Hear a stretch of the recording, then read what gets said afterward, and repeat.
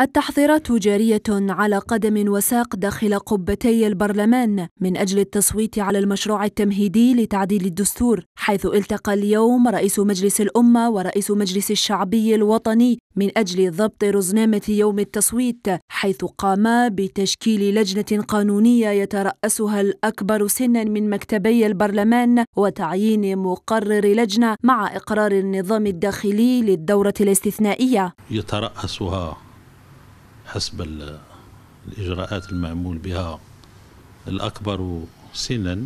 استدعاء الرئيس بوتفليقة لأعضاء البرلمان بغرفتيه يوم الأربعاء من أجل عرض مسودة الدستور الجديد. جعل مجلس الأمة يعجل في تنصيب هياكل المجلس بعد تعطيلها بسبب خلافات بين حزبي الأفلان والأرندي. ورغم كل هذه التحضيرات إلا أن نواب البرلمان لم تصلهم أي دعوة رسمية لحد الآن.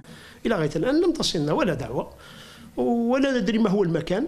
وكم الساعة؟ وكيف تكون العملية؟ كيف تكون العملية؟ ليس أقصد من الناحية القانونية من الناحية الإجرائية. الاجتماعات الماراثونية امتدت إلى الكتل البرلمانية المعارضة أيضا حيث ستجتمع غدا لتحديد موقفها النهائي من الدستور. نعلن عن الموقف نتاعنا النهائي من يعني المضمون نتاع الدستور. هذا اليومين هذو الباقين سوف يتم التنسيق معهم. ومهما يكن موقف المعارضة سواء التصويت بلا أو مقاطعة الجلسة فالدستور الجديد سيصادق عليه طالما أن السلطة تستحوذ على الأغلبية البرلمانية.